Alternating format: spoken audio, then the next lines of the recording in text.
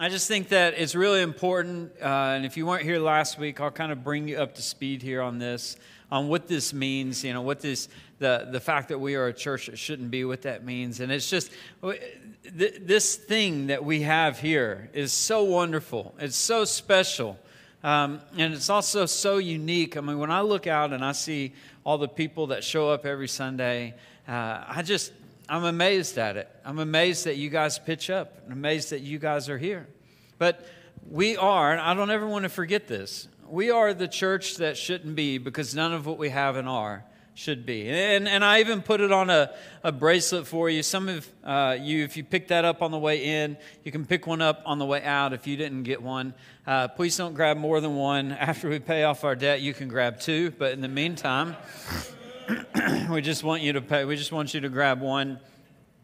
But I mean, when I think about this statement here, I think, I, I, you know, I think back to all the things that could have been the end of this church. And honestly, I think back to all the things that could have been the end of the church in general, the, the, the post-resurrection church that came out of, out of what Jesus did and the way and the following of the way.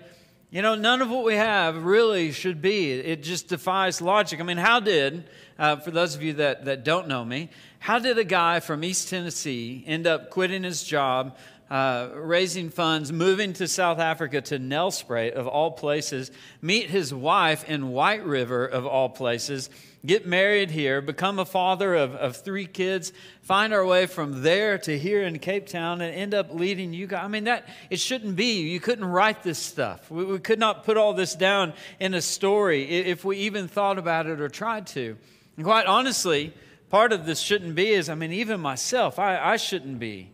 You know, but because how good God is, you know, He got me through a rough season, but we need to know that none of what we have in here, none of what we have and are here is because of us. Everything that we have and that we are here is because of God. And it's unexplainable as to why He has blessed us in the ways that He has. And in fact, I don't want what we do to start becoming explainable. I, I don't ever want to look at what God is doing in this house and with us and in our lives and begin to say, well, that makes sense. I understand that. You know, we have programs in place, we've got processes, we have leaders, we have teams. We, all that stuff is good and it's great, and that's the way that we can try and make church and church life uh, something that's good and safe and wonderful for everybody. But I don't want to look at the things that God is doing in here and look at the miracles and look at the answered prayers and look at the groups that are started and that are attended and, and see the smiling faces as they keep coming on Sunday morning, which is still just wild to me that you just keep showing up. And then some of you invite people. I mean, that's, it's just, it's, it's incredible.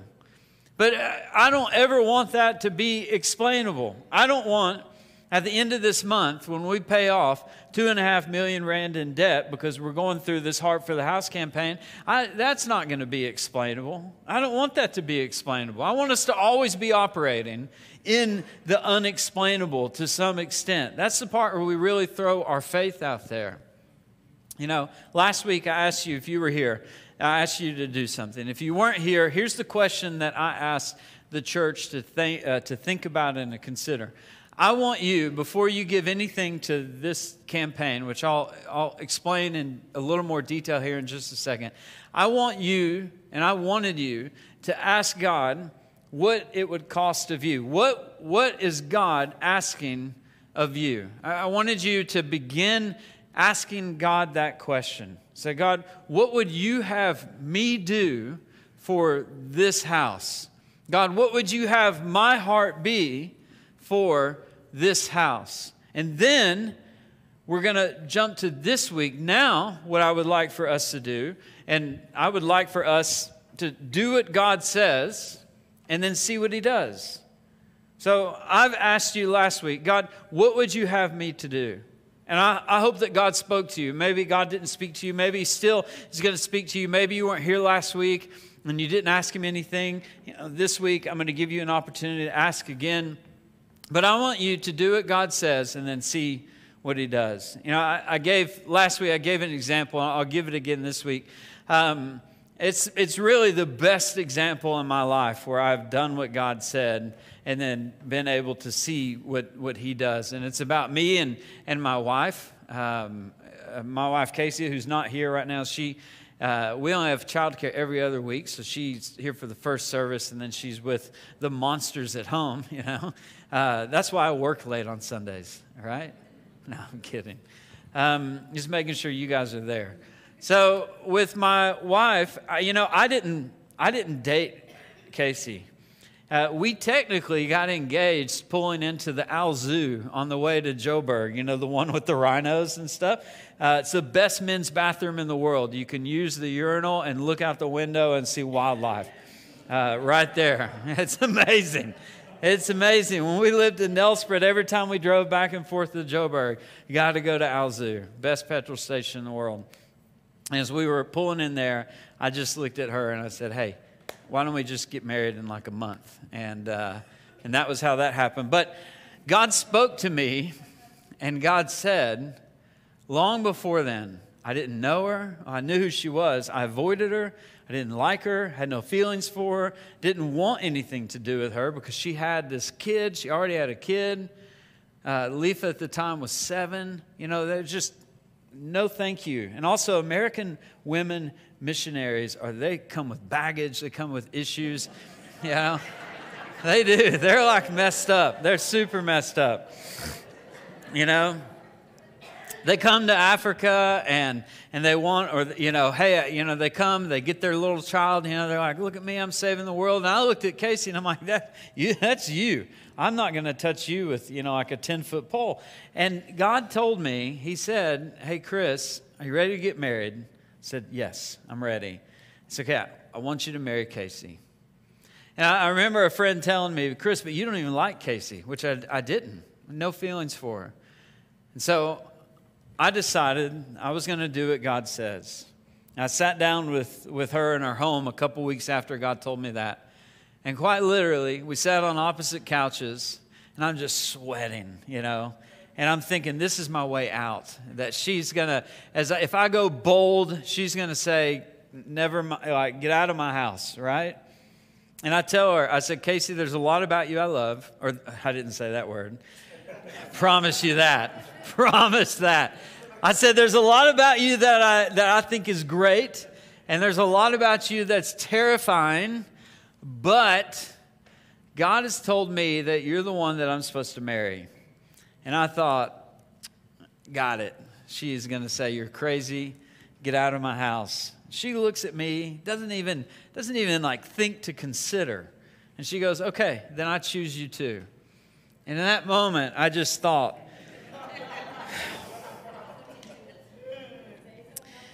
Yeah, even now when I think about it, I get heartburn you know? So, in that moment, I realized I'm going to be a dad, I'm going to be a husband, you know. Uh, but she said, Yeah, I choose you too. Eight months later, we were married. Eight months later, one trip to Alzu, we got married. See, I, I did what God said. God told me, and I did it. And then I got to see what He did. So when we do what God says, we get to see what He does. And I can tell you that the greatest blessing to ever come into my life, other than my salvation with God, is when I did what God said and He brought Casey into my life. She is the, the, the peace that I need. She's happy, she's joyful. We've got three kids, we have an amazing family. That woman is the only reason that I'm here, even walking around on this earth. Quite literally, Casey played a role in saving my life. I did what God said, and then I got to see what He did. I get to see what He does. And this is what I asked you about last week. Ask God what this what, what the cost for you would be. Ask God to put into your heart what you should do to help this house. What should your heart look like for the house? And now this week, next week, we get to see what God does. And I can promise you, God does amazing things. He's going to do an amazing thing. And so this week we're talking about, I told you guys we wouldn't do uh, a sermon on money. All right. I said, hey, hey, this isn't four weeks talking about money. Uh, so we're not talking about money today. It's involved, it is involved. Uh, but what we're going to be talking about today is generosity. Some of you may be thinking, uh, this is just Pastor Chris's clever way of covering money so that he can talk about money and ask about money. I just want to tell you up front uh, that you don't have to be nervous, you don't have to be scared. All right, if you invited somebody new and they came for the first time ever, and you're like, "Oh, this is so great! It's a great church. We talk about amazing things," and then you're sitting there thinking, "I'm going to murder that guy up there because I finally got a friend to come, and we're talking about." Money, but really we're talking about, he says we're talking about generosity. I just relax, okay? Just deep breath and relax. Because even if you are not a Christ follower, whether it's your first time or your hundredth time uh, being here, this message today is it's going to help your life. It's going to help you. And here's why I can say that. Is when I thought about what happens at the end of the month. See, this month, uh, part of, or the reason behind the Heart for the House is that we're going to get out of debt this month. You like how confident I am in that? We're going to get out of debt this month. So that means that by the end of the month, we're going to give the bank two and a half, 2.55 million rand in, in debt. We're just going to give it to them. We're going to be debt free. And that's, that's going to come at the end of the month. I could just feel the air leave the room. You know, I could, I just feel it, you know. But come on, God. I mean, I, I, I mean, I, I, I believe it. And the reason that I believe it is because God spoke it. God said to do it. So we're going to do it, and then we're going to see what he does. But we're not going to see what he does like, okay, maybe, hopefully, you know, uh, maybe over six months. No, no, no. God said, get out of debt and get out of debt this month. I promise you, I tried to get out of this, and God said no. And as we do that at the end of the month, what are we going to celebrate? We're going to celebrate 2, 2.55 million rand uh, that goes out there. And by the way, you know, if we when we pay off that two and a half million rand, you know what that does to us here? Is that frees up 82,000 rand a month. That's 82,000 rand a month every single month that goes into ministry, into what we're doing here, that goes into projects that we want to do. It goes into kingdom building. It goes into all of that stuff. And that's why God has said to get out of debt, so that we can then go out and build the kingdom. And I, I know that when that happens, the thing that we as a church are going to celebrate is that we are an obedient and a generous church.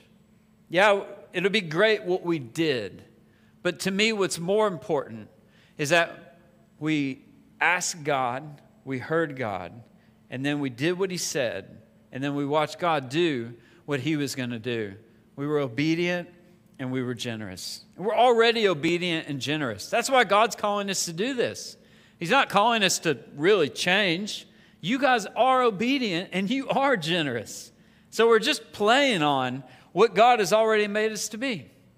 So uh, before we move on, we just there's some things that we need to address about churches that are asking for money. All right, and if again, if this is your first time here, you're like, okay, let's let's get to the good stuff here. You know, if you're upset or you've been upset, you know, about the way a church has asked for money, I just, I first want to address something important. I want to address the elephant in the room, okay?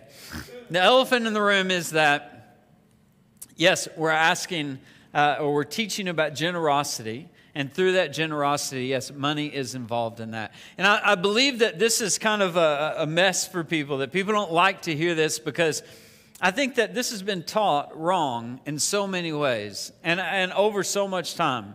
I think that it's been manipulated. I think it's been uh, misspoken. I, I, think it's been mistaught. I think it's been used for the benefit of, you know, uh, of an idea or, or a burden or, or even just something that the pastor wants or the church wants to have.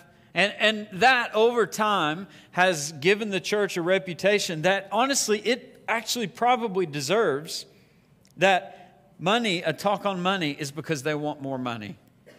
So the only reason we talk on finances is because we want more finances.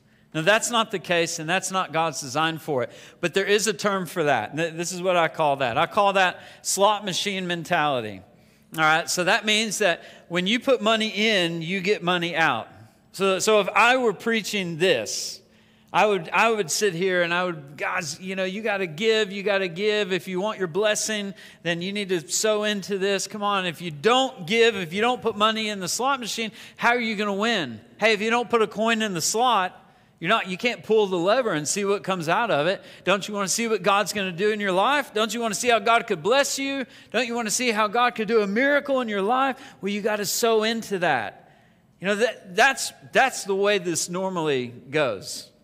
But that's not the way that God intended for it to go, and that's not the way that we're going to teach that generosity goes, or that tithing or money, finances. That's not the way that works here in this house. You know, you put money in the slot machine, the house always wins. And the house is not, I'm not saying we always win. I'm saying you never win. And you live in uncertainty. And you just live in hopes. I hope I put it in and something comes out. This is why we have a problem. This is why it's tough to talk about generosity, to talk about money in a church. And there's a couple other reasons. One reason comes from Jesus himself. All right, so Jesus, he had this, this thing that, that he would like to say. And one time, there's, there's a verse, and we're going to read it. Uh, but, but Jesus says that it is better to give than it is to receive. And so I've got a, rep, a graphical, very accurate representation of this up here for you. So if you give, you smile. Yeah, happy. It's better to give. Receiving, you know, it's got a sad face there with a tear coming out of their eyes. And I, I just, you know, it's this is easy to talk about and, and really just easy to, to preach, you know. Hey, it's better to give than it is to receive. Uh, I want to put this into practice this week. There's a joke coming, just so you don't get extra upset here. This week, I want you to all give me something and then next week, we'll see who is happier, okay? Uh, see, okay. The joke is, is that I'm happier, all right? You know, the, the, the thing with it is, is that when we talk about it's better to give than to receive, we're, we're on the side of, yeah, but what about my house payment or my rent? What about the electricity that I need to load on the meter? What about the school fees? What about the clothes? What about the petrol? What about, you know, money for transport? What about my safety? It's better to give than it is to receive, but honestly, if I received a little bit more, I think I would be happier. So when we think about it like that, then I think we start to see Jesus in a different way. We start to see Jesus like, you know, like Pinocchio. Do we know who Pinocchio was? The wooden nose. And what happened when he lied? His nose grew. So Jesus tells us it's better to give than to receive, but you can't meet your basic needs. And so we look at Jesus and we say, I don't know, man. I think you're telling lies here. I don't believe it. And then not only did Jesus kind of throw us for a loop here, but Paul, he also is teaching. He's teaching about, you know, being generous. And he tells a church, which we're going to read today, what, you know, what kind of generosity, what kind of giving does God like? So now we're going to talk about Pinocchio Jesus. And Paul's like, what, what do you think that Pinocchio Jesus likes? And he says that God loves a cheerful giver. He likes when you're cheerful. Now, for us, we don't think about this when we write our tithe. We don't think about this when we uh, put that 10% into the, the offering box or on an EFT. We don't, we don't think about it like this. I think for us, it's easier to think about it as God loves a faithful or dutiful giver or tither or generous person. And it's great to be faithful. It is. I'm not saying that that's wrong at all. You should be faithful. You should be dutiful with your tithe, with what God's given you to steward. But God is saying that He also wants us to have a heart of generosity. He wants to have a cheerful heart in what we get to do. And I, I believe, again, if we talk about the struggle here, the struggle with generosity, the struggle with money, with finances, with tithing, with giving to a church, with a pastor asking the church for money, with this idea that uh, you know, how dare he ask us to pay two and a half million, you know, rand in a, in a month? That's just bananas. That's crazy. It's, it's not even appropriate for him to do that. Here's, here's why that, I think that that exists. Because there's a, there's a gap between us and Jesus. And this gap that's between us here, we sit on, on this left side here. And on our side, we see our needs, we see the impossibility of it, we see that something is beyond our capability or beyond our reach.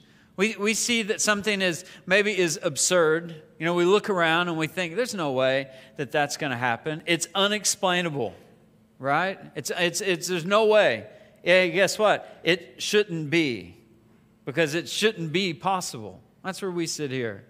On this other side, Jesus, God sits there and says, You're right, it shouldn't be because none of what you have in ours should be. But on my side, here's what generosity is. And here's what generosity looks like. Here's what you can do with your generosity. But our challenge is how do we jump the gap? How do we go from where we are to joining God's definition on it?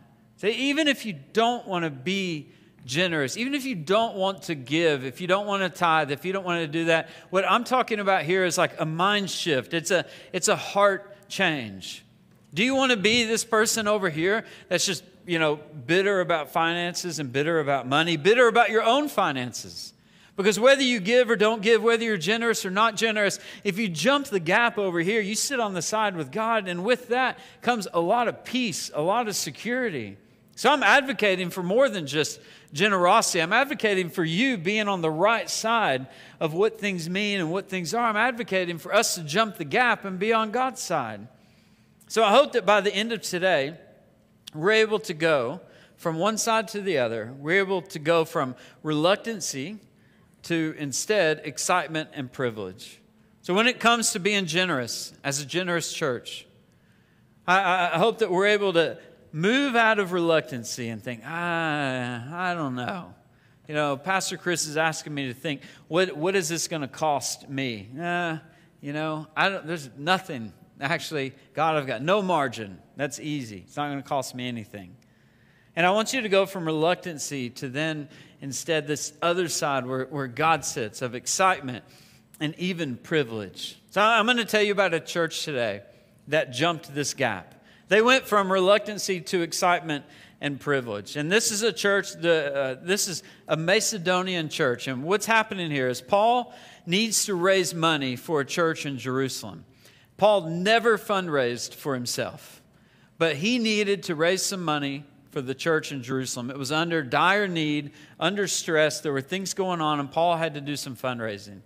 Now, he went to one church in a place called Macedonia, and the church is there. They were incredibly generous. And then he goes to the church in Corinth. And Corinth was a wealthy place. It was a wealthy city. It was a port city. It was probably one of the most important, influential cities around at the time. And Paul goes there and he had planted a church there. And if you want to read about that, you can go to Acts chapter 18. And that's the story of Paul starting the church in Corinth. And then the church kind of gets a bit wayward and he corrects them. And then he writes a letter. Then he writes another letter. And we're going to jump into this second letter here that Paul writes. And we jump into some of the conversations that Paul is having with the, the church in Corinth. And this church that was founded was founded about 40 years after the death of Christ. So these people were there. These people were alive when Jesus resurrected. This is not 300 years later, 200 years later. This isn't based on oral tradition or human interpretation. This is people that were there, present, that saw it. These are people that were alive while it happened, people that heard the news when it happened and after it happened. And so let's, let's learn and hear a little bit about a church that was able to jump the gap. So, Paul sits down with the church in Corinth. He'd written a letter, and now you know, some things were happening. And he says, you know what?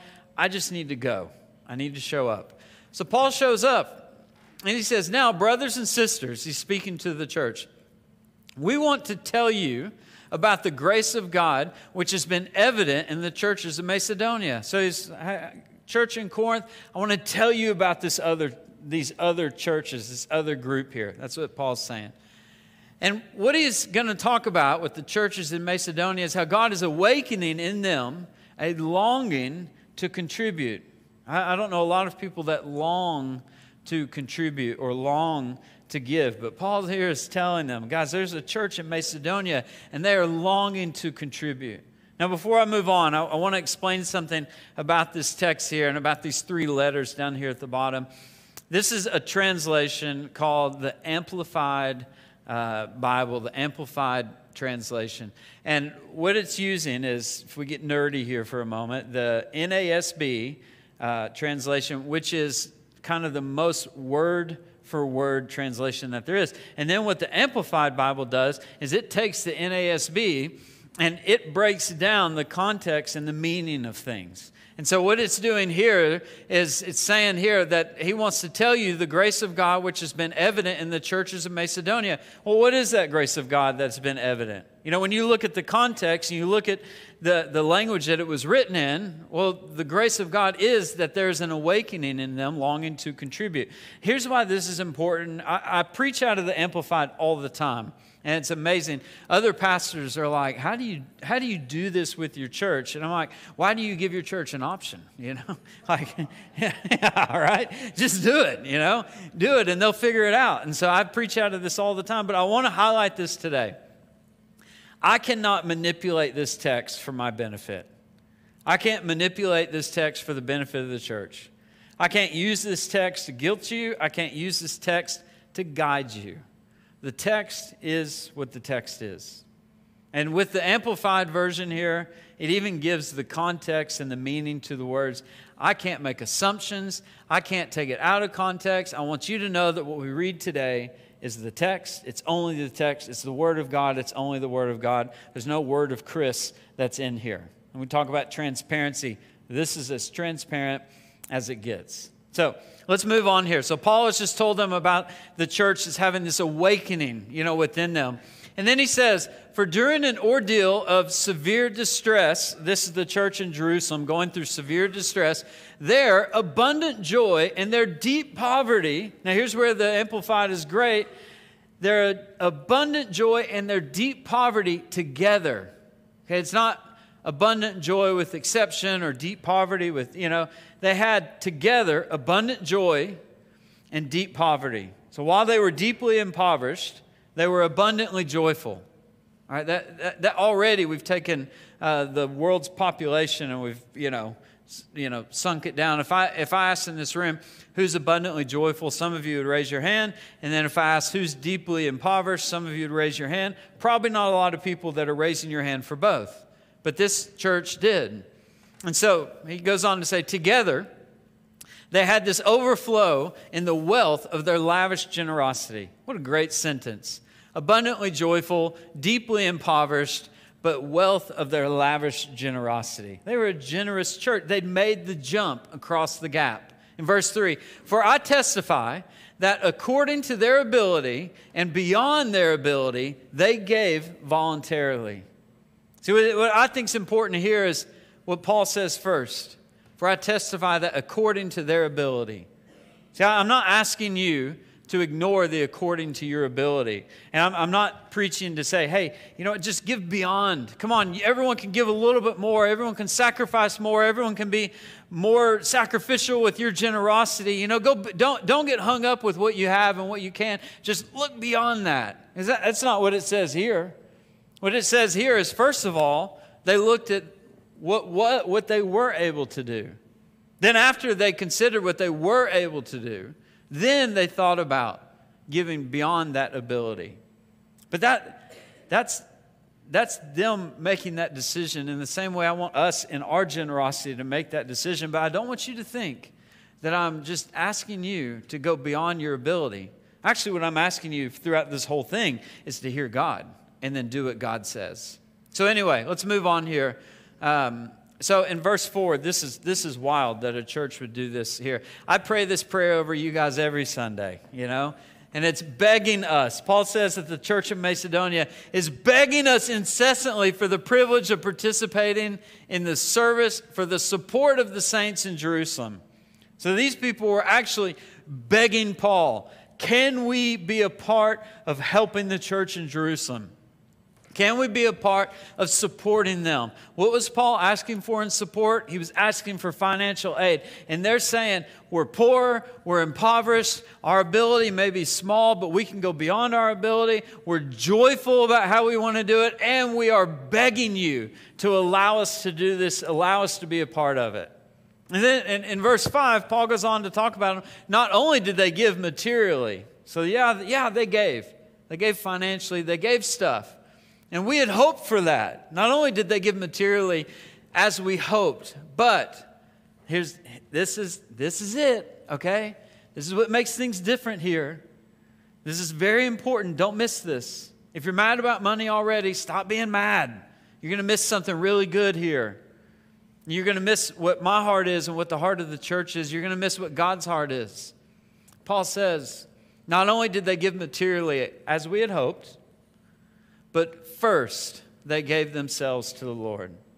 First, they gave themselves to God. That's why last week I asked you, hey, don't give anything yet. What you've got to do first is you've got to go to God. And you've got to say, God, what would you ask of me? That's you first giving yourself to God before you give yourself to anyone else.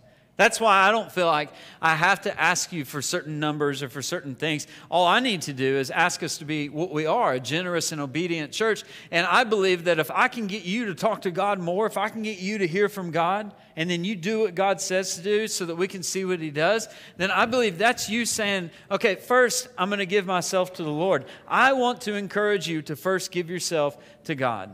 And we're going to even do that at the end of this service.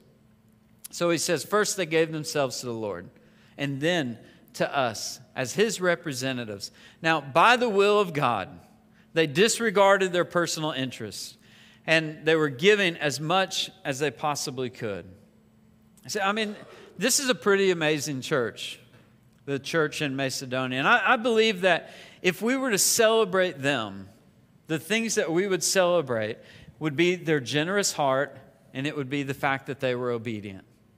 They went to God and they asked God, God, what do we do? And God said, Here's what I want you to do. And they did it. And they did it, and then they watched what God would do. And they did it with joyful hearts. And it's just, it's, it's an amazing thing. And Paul uses that to encourage the church in Corinth, who had plenty of money, plenty of finances. He's like, guys, look at what these guys are doing. Now, if you could also have this generous heart. And so, how did the church of Macedonia make the jump?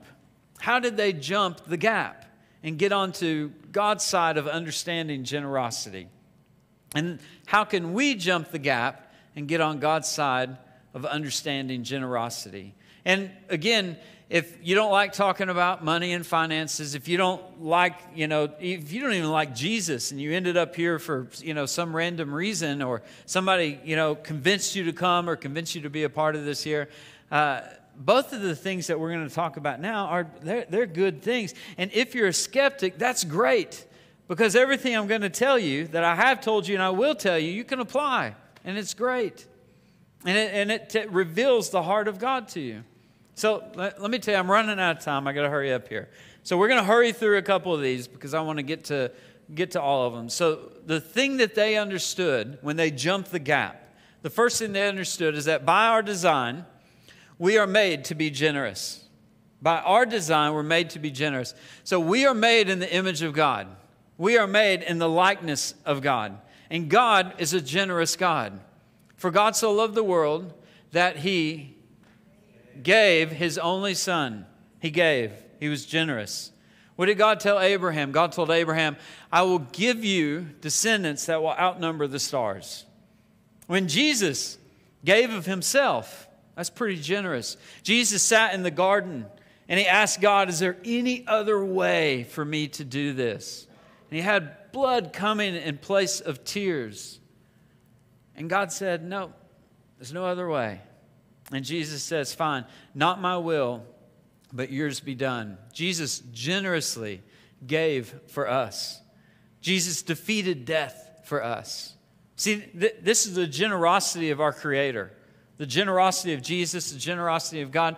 And if we're made in his image, then we also are made to be generous. Paul describes this to the church in Corinth here in verse or in chapter 8 uh, here in verse 9. For you are recognizing, so he's telling the church in Corinth now. He's saying, Hey, church, you're recognizing more clearly. So you're, you're understanding it. The grace of our Lord Jesus Christ. So the generosity is the grace. Jesus is graceful. He, he, he's given you something that you don't deserve, you know?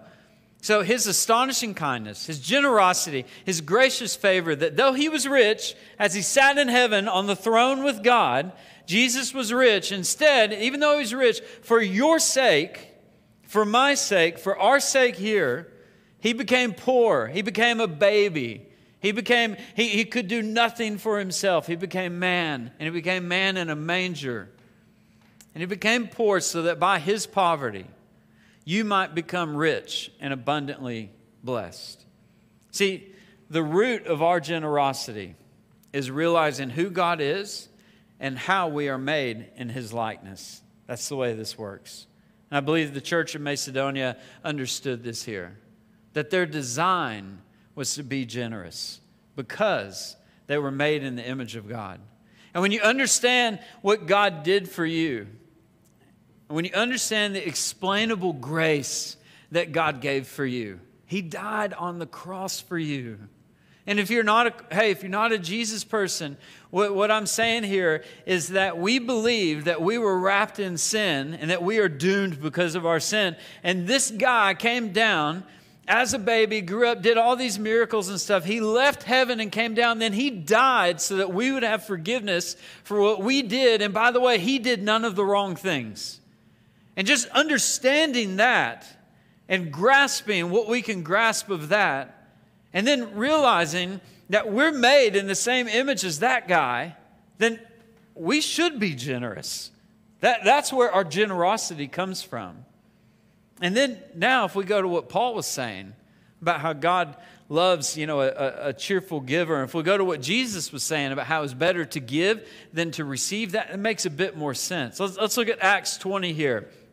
Here's the verse. In everything I showed you by example, this is, again, Paul is talking to the church, that by working hard in this way, you must help the weak and remember the words of the Lord Jesus. He's encouraging them here to, to, to, to take care of those that are around them. And he says, Remember the words of Jesus that he himself said. It's more blessed. And what, what's he mean by this word blessed? Thank you, Amplified. And it brings greater joy. It brings greater joy to give than to receive. It turns out Jesus is right because it's our design. Our design is to be a cheerful giver, our design is to be generous. And when we operate in our design, that's where we find our fulfillment. You know, if you can kind of understand, let me explain this a different way. If you have a job that you don't love, it's very difficult to go to work and feel fulfilled at work. You maybe don't feel like you are operating in your purpose at your office or at your work environment. You kind of probably feel like, I hate this place. Why am I here? You know? But if you have a job that you love and that is suited to your designs, is suited to your characteristics, is suited to your strong points, to your passions, then going to work is amazing because you're operating in your design. You know, it, it means that, that, hey, if you love your job, you never work another day because you're operating in your purpose, you're operating in your design. The same thing applies to generosity. When we operate in our purpose and we operate in our design, that of a generous heart, and I'm not even talking about money here. Money's involved, but so is generous of love, so is generous of sacrifice, generous of patience, generous of care, generous of time. When we operate in our generosity, we're operating in our design, and it feels great. And the second thing that I think help them jump the gap here is that they understood that generosity is our vocation. Here, here's what this means to us. This is for us here. Your vocation, it's your calling, your life's work, your mission, and your purpose. So, generosity for us, it's our calling. Generosity for us is not optional. It's our life's work. It's what we're to be known for. That's why we celebrate that we are a generous church, because that's what we are known for. Paul says the church of Macedonia is known for their generosity in spite of their poverty or any of those other, you know, distractions that they have. They're known for their generosity. It's our mission and it's our purpose because we were created in the image of God to do these things. So to be generous is our vocation. And here's, here's what, what Paul explains this to the church in Corinth with this here and in the, this verse here in verse 11. He's trying to encourage them, trying to give them this, this piece of encouragement here. You will be enriched in every way so that you may be generous, and this generosity administered through us is producing thanksgiving to God from those who benefit. So I want to look quickly. I'm already over time, so I, apologize for this here. Um, you will be enriched in every way. The way that this is normally taught is, is this is that God will give you, if you, if you sow in, if you put your coin in the slot machine, you're going to be enriched in every way. You're going to be enriched. You're going to be blessed. You're going to have everything that you need. Come on, if you be generous, if you be generous here, be generous. Pay off the two and a half million rand of debt for us. And guess what? I promise you, you're going to be enriched in every single way. That's a lie. I can't make that promise. And the Bible doesn't guarantee that promise in any way. There's two words that prevent this from becoming a prosperity gospel. These two words are the word so and the word that. You will be rich in every way, so that. Now, God is going to tell us our purpose for why we are enriched. We are only enriched for one reason and one reason only. It is so that you may be generous. And this generosity administered, meaning you may be generous and you've got to do something with that generosity. And when you administer that generosity, through us is producing thanksgiving to God for those who benefit. None of the rest of this verse here has anything to do with benefiting me. I am generous and I am enriched in every way so that the rest of this verse has everything to do with benefiting those that receive it. And I think that as the church understood that, they understood that as our vocation, we've got this, uh, we have an obligation. So God blesses us. Here's the, here's the path for this God blesses us so that we can distribute God's things on God's behalf with God's purposes. Right? It's not for me, it's not for you. When you're generous, it's not for me. God blesses us so that we can distribute God's things. Everything you own is God's. He gave you everything. None of what you have has anything to do with you. God's provided it all. And when He gives it to you, it's so that you can distribute those things on God's behalf with God's purposes. See, here's God's desire for our, for our church here God does not want to bring His generosity, His justice, His healing, His provision outside of us, outside of this church. What God is saying is, I want to partner with you guys and through the church, I want to bring these things. So, what that means for us is that means that we've got to be stewards of what God provides. We've got to steward it. And when we steward what God provides, that's us saying, okay, you're giving it to me. Now, I know that it's not mine. I'm not holding it. I'm now giving it out. I'm now providing it. I, am taking what you've provided and giving it your way, according to your will, to be blessed and used the way that you want that to be done because I'm a good steward of that. I don't own it. You gave it to me. I'm stewarding it. I've got a slide. I want to skip a couple slides. Karina, let's skip this uh, next slide here. I want to put two things I want to put on the screen for you. Karina, go to the next slide for us here. Okay, there we go. This is here's what I want to leave you with here. Is this, this is this is big. And this is probably going to be a statement for us for a long, long, long time. This is what stewardship is. My provision, stewarded, can be someone's prayer answered. Right? See, God wants to work through us, in partnership with us.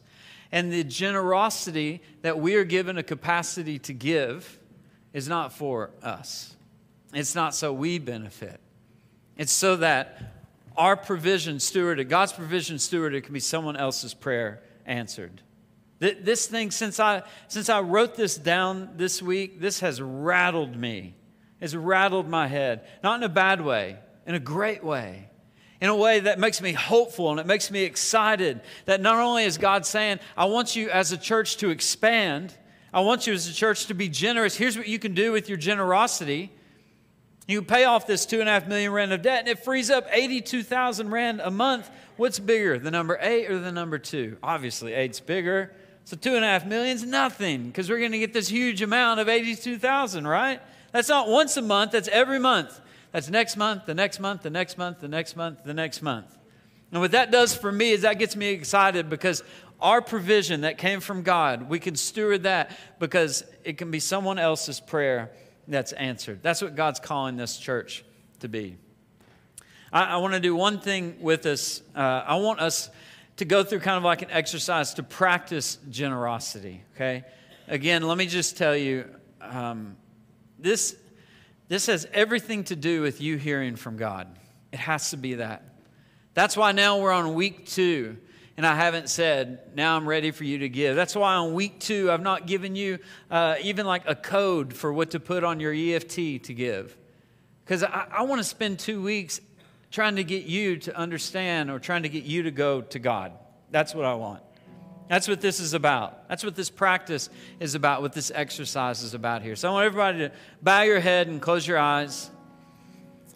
I, I just want to put us in a, in a bit of a prayerful spirit here.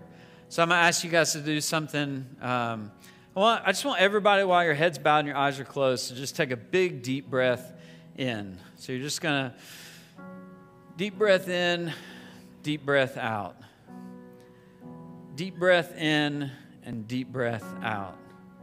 And then in this moment, I just want you to ask God for a number. God, give me an amount. And then whatever number first comes into your mind, that's what you're going to practice with. Whether it's one rand, 10 rand, whatever it is, you're going to practice with that number. And what I want you to ask God, now that you have that number in your mind, whatever it is, I want you to say, God, am I able to do this cheerfully? And if I'm not, help me learn to trust you more. Am I able to do it cheerfully? Am I able to give to you cheerfully? And then I want you to ask God how you can give and be more cheerful. Let Him talk to you about that.